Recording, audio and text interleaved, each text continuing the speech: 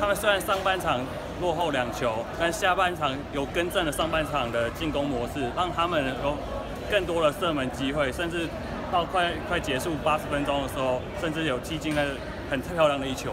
我觉得他们是是有在进步，变得越来越好的。因为有我就看半场，下半场的时候，约旦队有一颗从左边的四十五度十八码左右的地方那个吊。那个潘文杰吧，把他直接跳出去，跳出来守住那颗。如果他没有跳起来，根本就直接进球。那个真守得非常漂亮。其实我们自己的进攻，慢慢的，我们有在试着尝试从组织起来，组织从两边调的去进攻，而且我们中间的人拿球的实力越会已经有越来越好，所以变得更有机会的进攻到前方去。其实我们越来越敢跟人家去抢那个拼抢，我们拼抢的。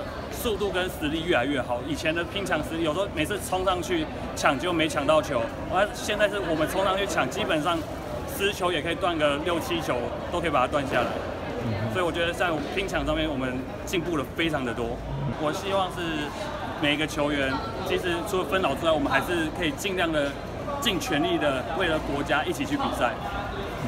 希望中华队加油！